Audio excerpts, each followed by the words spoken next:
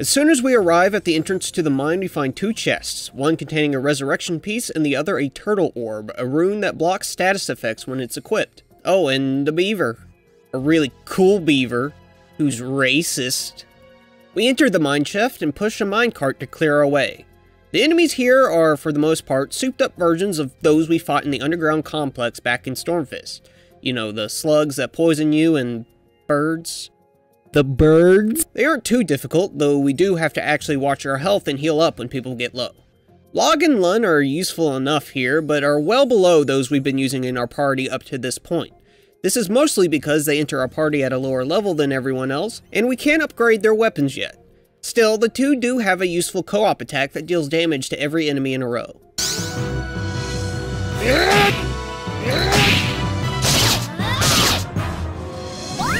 It's worth noting that Log becomes stunned after using it, however, which means he is unable to act in the next round. This part of the mine is pretty linear, though we can go out of our way to find a martial arts garb, a decent armor piece for either us or Leon. On the way we can find a chest containing a sound set. Much like Windows sets, this lets us change certain assets of the game, in this case, the sound effects. We can't use it until we find a phonologist, however. Finally, we find a Mother Earth piece before moving on to the next area in the mine.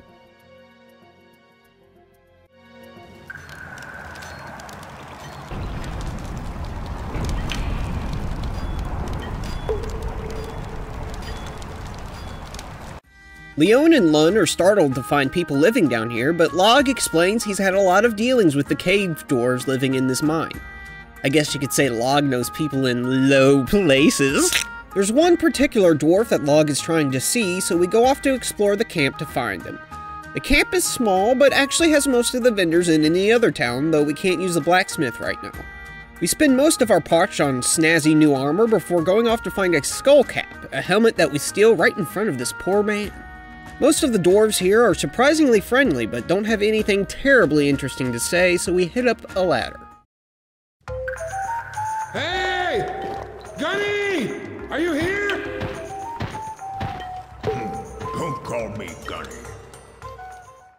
This is Cunny, uh, uh, Gundy. He's an old friend of Log's and an expert miner. At first, he doesn't believe Lun is Log's daughter, but mm, Lun gets rid of that doubt. Before Log can even really explain what we're doing, Gundy is eager to break into the prison. Apparently, that was how the two met. They were fugitive smugglers. Log explains that the two of them would break into prison, usually helping to free gladiators. They were able to break into Agate prison once, and the secret tunnel they built should still be there. With Gundy in tow, we enter the second part of Baska Mine, also known as Hell, like literal actual hell. Alright, it's not that bad, but this is by far the biggest dungeon area so far. But there's only one way to go. Oh, there are tons of diverging paths, but all of them are dead ends. Nothing awaits us there, no treasure chests, just more random encounters. It wouldn't be so frustrating if this was the only time we needed to come here, but that's a secret. Also, the place we actually do have to go also looks like a dead end. First time I played this, I saw this wall, thought it was another fucking dead end, and ran all the way back through multiple times. Luckily, I know where to go now, so Cunny digs us a hole. We arrive in the basement of Agate Prison where Gundy says his farewells.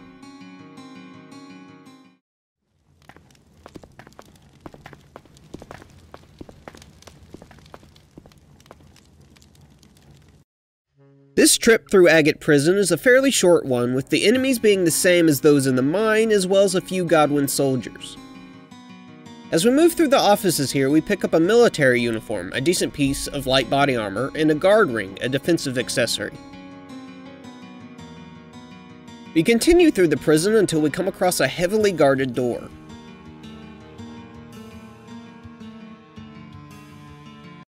Damn it! How did intruders get in here?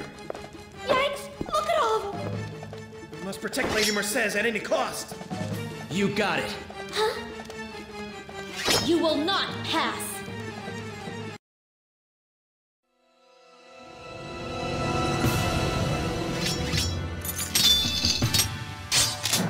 Like other boss battles so far where we just fight a bunch of schmucks, this one isn't too difficult. The two soldiers in the back go down with any bit of AoE, though the two ones that are, well, obviously more important, have a good deal more health. Log goes down here, but eh, he'll be fine.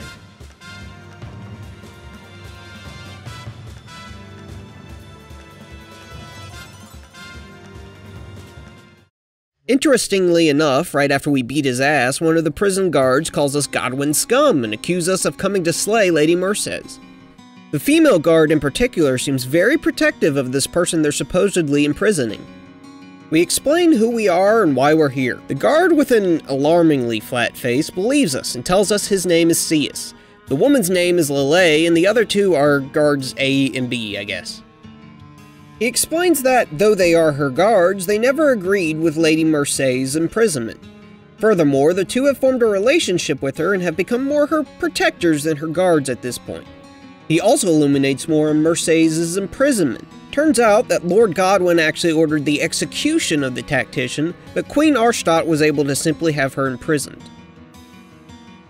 Lele is still skeptical of our claims and refuses to let us see her lady. But Leon offers her sword to the guard and tells her to strike her down should they do anything suspicious. This seems to connect with Lele, as Leon says it's not just her job to guard us, but also our intentions.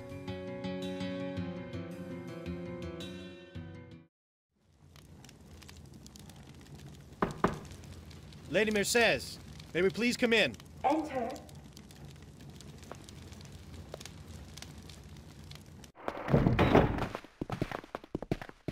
We've brought His Royal Highness the Prince. Thank you, Lele. Anything for you, my lady. Uh, you're Lady Mercedes? That is correct. Lucretia Mercedes. Your Royal Highness, Leon, people of Raftfleet, I have been waiting for you. Waiting for us? How did you know we were coming? Well, I... I didn't really know, but I was waiting for you all the same. I am a prisoner here.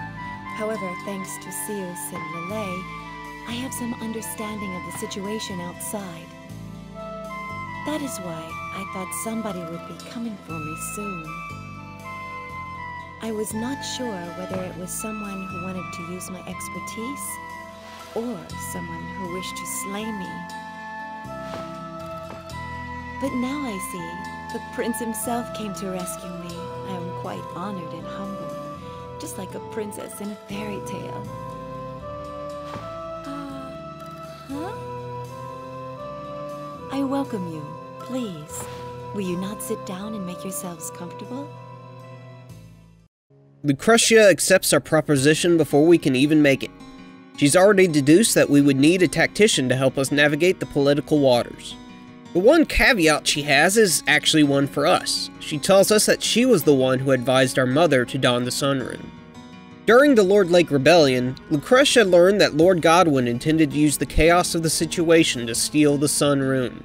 Putting things together, it now makes a lot more sense why Arshtat not only took on the rune, but also used it in such an extreme manner. Her punishment of Lord Lake was almost certainly a consequence of her donning the rune without yet knowing of its influence. Still, it could very well be that the only way to ensure the safety of the rune was to take it on. It's a pretty nuanced situation. Lucretia also laments the effect it had on Sialeeds, who she feels blames her for Arshtat's mental decline. Finally, Lucretia reveals that she was actually Lord Godwin's advisor when all this went down, not the Queen's as we were led to believe, which is why he wanted her execution. She warns us that this shows that if she feels we are headed down the wrong path, she'll follow her own morality rather than loyalty to us. Doesn't really matter what choice we say here, really, but she seems pretty smart and we need all the help we can get, so we decide to take her along.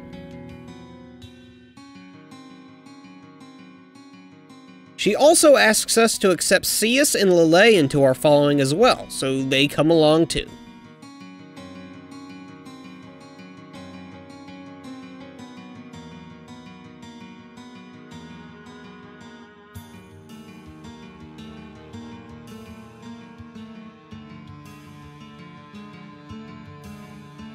With that, we move to escape the prison, though the rest of the guards are not as friendly with Lucretia as these two.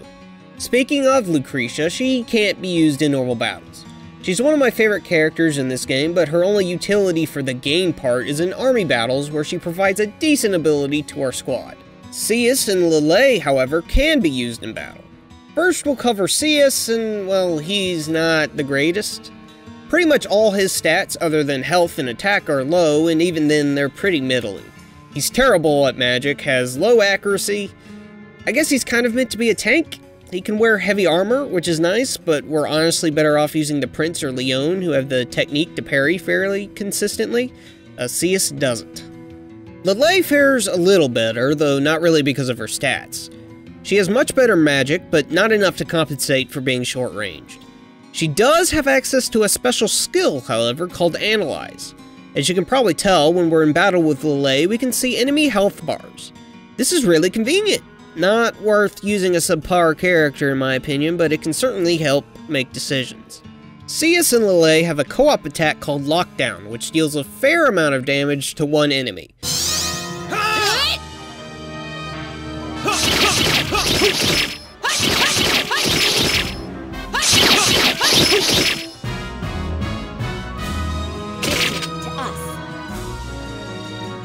It's not really worth it, but if you like guards, go ahead and use these two, I guess. We decide to make our escape by going through the front door this time, with Lucretia noting that Raftfleet could very well be in danger. She says we don't have time to elaborate on that premonition, however, and urges us to make haste. Cius and Lele trick the guards at the dock by telling them an intruder was spotted in the prison and they have to move the prisoners by boat.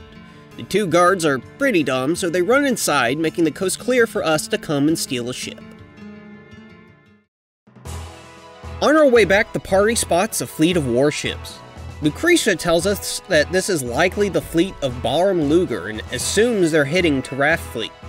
Log and Lun rightly freak out, but Lucretia maintains a calm demeanor and says she can handle it. After a long traveling cutscene, we finally make our way back to the river town.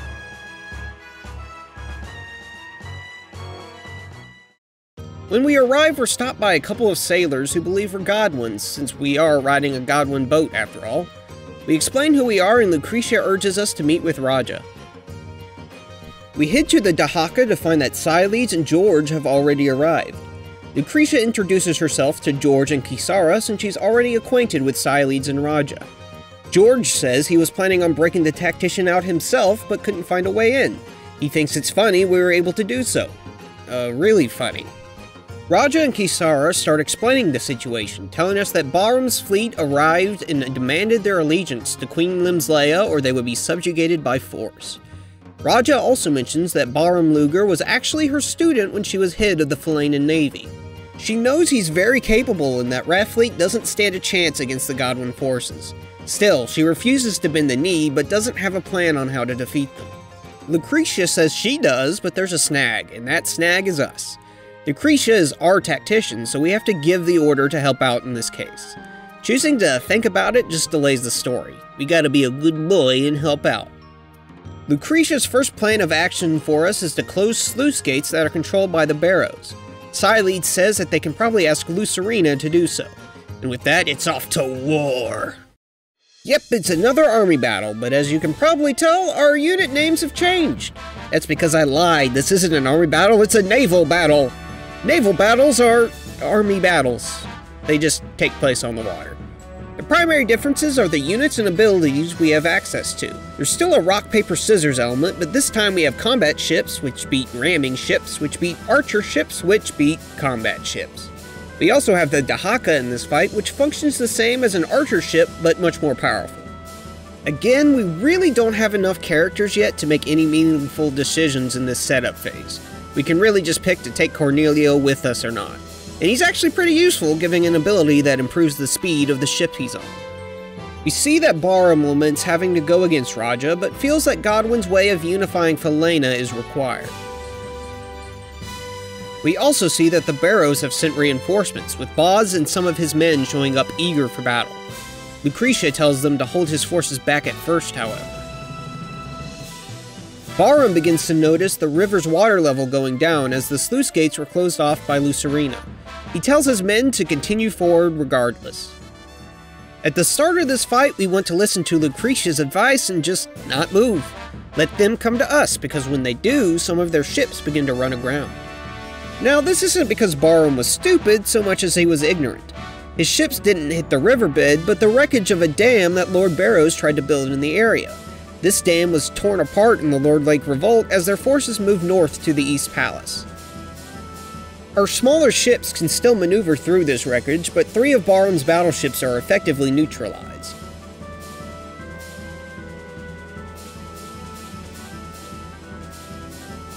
Our goal here is not to actually destroy every ship, as once Barham's two remaining ships are sunk or his own ship takes enough damage, he will retreat. Still, you get more rewards for sinking the other two ships, so it's better to do that. Well, I tried to do that anyway.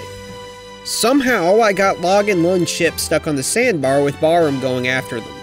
Every time they'd retreat, they just go right back into Barham's attack range. Thankfully, they have the ability to heal themselves so they didn't sink, but I did miss out on the extra items. It's not too big a deal though, and with that, we successfully fend off the Godwin forces.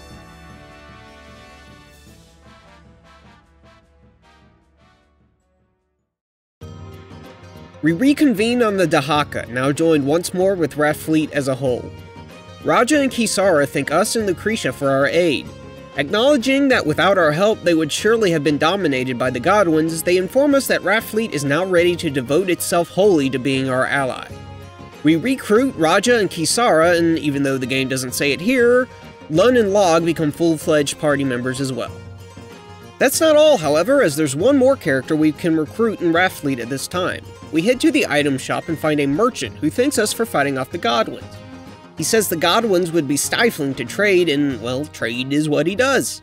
He tells us his name is Shinro and joins us. Yep, that's all we needed to do. If only they could all be so easy. As we leave Raftfleet, we cut to a scene with Gazelle and his father. The two are talking about Lucretia joining us. Gazelle seems worried about it, but Marscal tells him that Lucretia isn't to be trusted and will end up betraying us eventually. They're interrupted by a general called Dilbert, uh, Dilber Novum. The three discuss Barham's failure, with Marscal and Dilber chalking it up to Barham's attachment to Raja. Dilber has no such attachment, however, and is being sent to Rainwall directly to take us down. Back in Rainwall, Salum has already heard of our victory and congratulates us. He gives some overly enthusiastic praise for Lucretia and laments about her imprisonment. Lucretia reminds him that it was our orders that saved Raftfleet and that all are here to support our cause. He agrees? It's a very laughter-filled conversation. Back in our room, the party remarks how obviously disingenuous Salum is. Lucretia says that's just how politics go, but does bring up a matter she's been perturbed by. In the Lord Lake Uprising, the rebels had to go through Barrow's territory to get to their Dawn Rune. The story is that their soldiers were overwhelmed, but Lucretia suspects there might be more to it. Finding out the truth of the matter becomes our next goal, but it would be difficult for the party to find anything without Salum catching wind of it. Lucretia suggests we employ the help of a private detective, one by the name of Oboro in particular. Oboro's detective agency actually operates out of a boat, so it's possible he's docked in Rainwall. Kisara is familiar with the detective and offers to have Log and Lun negotiate. Lucretia insists that Oboro is a very important potential ally and suggests we go to see him personally. We set off to find Oboro and we see a scene of Sialeeds and Lucretia speaking together. Sialeeds asks if the tactician is only helping us to make amends for what she did to Arshtat. Lucretia still feels she offered the best course of action with the Sun and insists that she is only helping us because it's the right thing to do. Sialeeds admits that she still hates Lucretia, but feels better with her at our side. Before we continue, let's go over our new friends. First is Raja, who's only available to use in naval battles. There, however, she commands the Dahaka, the most powerful ship for the majority of the game. Like Lucretia, most of her contributions are through the story and not the gameplay. Shinro is our first support character. He cannot be used in battle, but if we bring him along, he lets us use an item shop wherever we want. Useful for keeping our inventory clear by selling stuff we don't need. In major battles, he gives us an extra ability usage to whatever unit he's attached to. Finally, the Raftfleet family. Log is all about brute force. He's not going to hit often or quickly, but when he does hit, he'll hit hard. He can also take a beating, though this is mostly due to his high health rather than defenses. His medium range makes him a little better at dealing damage than tanking it, since he doesn't have the best accuracy already, and lowering it further by putting him on the front line can make him just a meatball. Still, he's simple but effective. Kisara has big boobs. There, I said it. It's out. It's out there, I can't ignore it, okay? She is well endowed. Kisara can be described as Cornelio, but better. Unfortunately, the niche that Cornelio and her hold isn't terribly useful. She's a short range mage, though with better health and attack than our well endowed conductor. She attacks with a rope that can hit surprisingly hard for a mage, but not hard enough to really compensate for being short range. Still, she is a decent mage early on, and with an and incantation can be a decent healer if you're going for a short range heavy party for some reason. Lun is like a mix between Log and Kisara, appropriate since she's their daughter. She can best be compared to the Prince in Leon, as she's very versatile with an even mix of stats and a medium ranged weapon. Of the three, I usually find more use for Lun since she can fit on pretty much any party, though is certainly less effective than us or Leon. Her signature skill, Pierce, lets her normal attacks sometimes hit a column of enemies. I'd rather have the option to use another skill, but it's decent enough. If you have all three party members in your party, you can get access to the Family Attack Co-op skill. This does a decent amount of damage to every enemy, but stuns Log for a turn.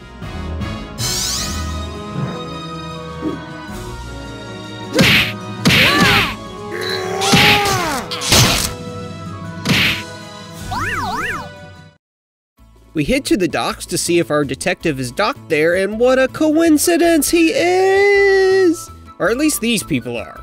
A man and a woman sit at a table. The woman asks if we're a client, and the man is, well, a jerk. Who smokes. This cool hombre is apparently Shigure, according to another woman who enters to chastise him. This woman recognizes us in Leon, though no one will let Leon correct her about Leon being an apprentice rather than a fully fledged Queen's Knight. We learn that the woman sitting down is called Sagiri, while the only person who seems to want to help us here is named Fuyo. Fuyo is the administrator and accountant for the detective agency, while Sagiri and Shigure are investigators. Fuyo is more interested in talking at us than to us at the moment, so we learn that she was actually a client of Oboro before working with him. Finally, Sagiri tells us that Oboro is an inn at the moment and that we should return later to ask for his services. Also, Shigure hits on Leon because. So, what must we do to have the enigmatic detective return? We must leave Rainwall and go back in. Then go back to his boat, and he's there now. This is Oboro, detective and creator of the business card, apparently.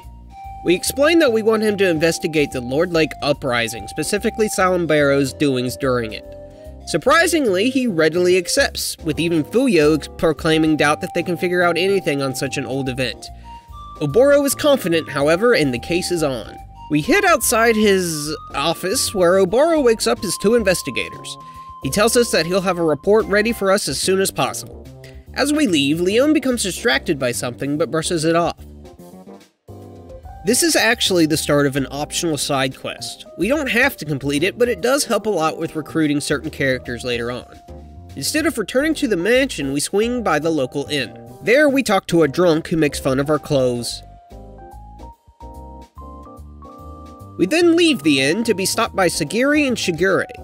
Shigure is mad at us for messing with his investigation, Sagiri is actually reasonable and explains that the drunk's name is Norden, and he was the Barrow's vice captain at the time of the uprising. Norden starts to come out, prompting us and the investigators to hide. The drunk stumbles out, but the interesting part is a shady character follows him and gives the obvious ellipses to signify his shadiness. The two investigators say they should follow, which gives us the choice on going with them. There will be a couple of these choices where we can follow up on the investigation or not, and selecting to not a single time will end the side quest, so we just have to keep being curious. We head back to the docks where we eavesdrop on Norden and the shady character. The man of shade questions Norden on why he was talking to us, the prince.